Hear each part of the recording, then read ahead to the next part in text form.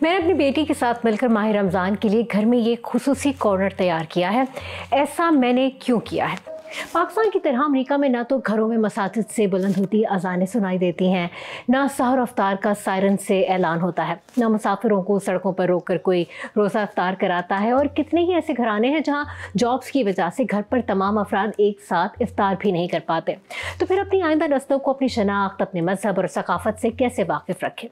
بس اسی لیے یہ کوشش ہے اور ایسا کرنے والی میں تنہا نہیں، امریکہ سمیت غیر مسلم ممالک میں آپ کو ایسے بہت سے والدین ملیں گے جو اپنے بچوں کو رمضان کا ماحول فراہم کرنے کے لیے ایسا کرتے ہیں۔ ایسی ہی ایک ماں ہے فروا ہاشمی جن کے گھر اب ہم چلتے ہیں اور دیکھتے ہیں کہ وہاں کیا تیاری چل رہی ہے۔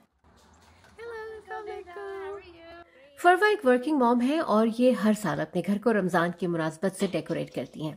اس کوشش کا مقصد اپنے آٹھ سالہ بیٹے اور چھ سال کی بیٹی کو ماہ رمضان کے بارے میں بتانا اور اپنے دین سے محبت دلانا ہے۔ ہم اس کو بہت اچھی طرح سے سیلیبریٹ کرتے ہیں، جہاں پہ ہمارے بچے ایکسائٹیڈ ہوتے ہیں کہ oh, oh it's Ramadan is coming ہم ڈیکوریٹ کرتے ہیں گھر کو um, انوالو کرتے ہیں بچوں کو not just the spiritual the religious part of it as a cultural too جہاں پہ بچے لک فارورڈ کرتے ہیں کہ اٹس رمضان بچوں سے پوچھیں تو کسی کو رمضان میں مسجد جا کر دوستوں سے ملنا پسند ہے تو کسی کو مسجد میں ہونے والی ایکٹیویٹیز اور کسی کو ہماری طرح رمضان کے خاص کھانوں سے رغبت ہوتی ہے We go to the masjid for activities and stuff, for events. We get to eat food that we can like fast.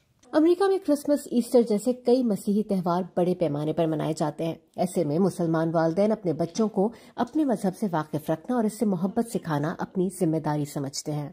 بچوں کو انوالو کرنا اپنے کسی بھی ریلیجیس ایکٹیویٹیز اور ہالیڈیز میں specially Ramadan and Eid which are a huge part of our lifes ہمارے بچے یہاں پر obviously all the western holidays and culture دیکھتے ہیں کرسمس کے ٹائم پہ دے سی دا ڈیکوریشنز باہر اور لوگ گفٹ ایکسچینج کر رہے ہوتے ہیں ہر جگہ everything is let up so we make a point to show our kids کے ہاؤ امپورٹنٹ امریکہ بھر میں ماہ رمضان میں مساجد میں بھی خاص طور پر بچوں کے لیے سٹوری ٹائم رمضان کرافٹس اور دیگر ایکٹیویٹیز کا اہتمام کیا جاتا ہے۔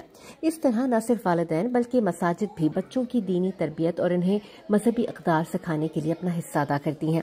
امریکہ میں والدین اپنے بچوں کو اپنے مذہب اور ثقافت کے ساتھ وابستگی کے لیے جتنی کوششیں کرتے ہیں، ویسی کوششیں آبائی ملکوں میں نہیں دیکھی جاتی۔ جس کی وجہ یہ ہے کہ وہاں کوئی ایسی انسیکیورٹی نہیں ہوتی۔ بچے پر مذہب یا کلچر کا انفلوئنس اجتماعی ماحول کی وجہ سے موجود رہتا ہے۔ Nida Samir Voice of America New Jersey